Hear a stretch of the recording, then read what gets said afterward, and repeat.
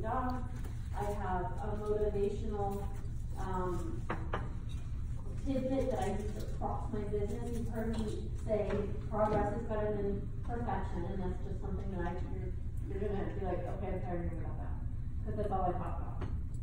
I like calm, relaxing photos of water, I like flowers, I like to read, I like to be outside with horses. There's, um, two photos I didn't have permission to use. But that, that looks like a personal, engaging, interesting person that you wanna have or, uh, to follow or get to know, yes. Okay, on the strive for progress, you said that, um, you can't use things without getting permission, so you did have to get permission for something like that? Um, I pulled that off of Word, Word Swag, which is an app that I use, and you can type in all of this, everything that I've talked, all the apps, we'll go over this at the end of the presentation, and it's also listed in the Facebook page.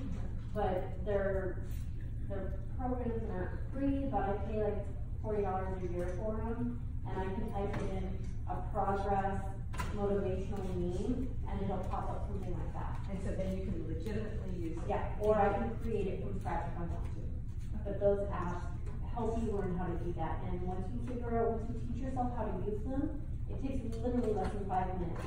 It is easier to create it than go look for it on Pinterest.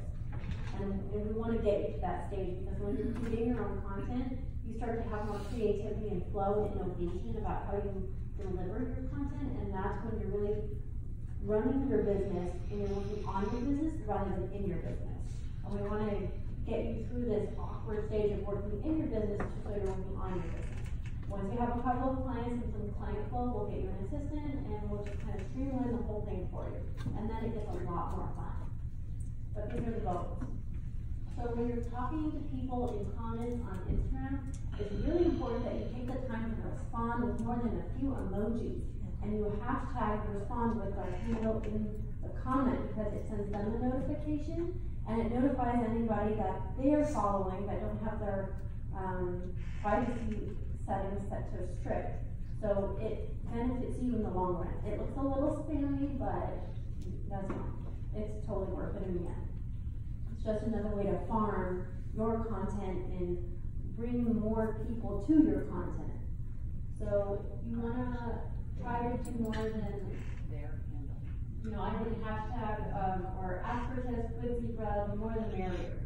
I just, you know, I say all kinds of things like, oh, great, no problem, no biggie, no worries. I'm very relaxed when I'm on Instagram because it's a visual platform. I encourage you to be a little more personal with people on Instagram. So, one disclaimer, and I learned this the hard way, people on LinkedIn, usually, most of them have a master's degree. And they use LinkedIn as a way to make, um, connections, uh, with other colleagues, with other businesses. It's a very business-heavy platform.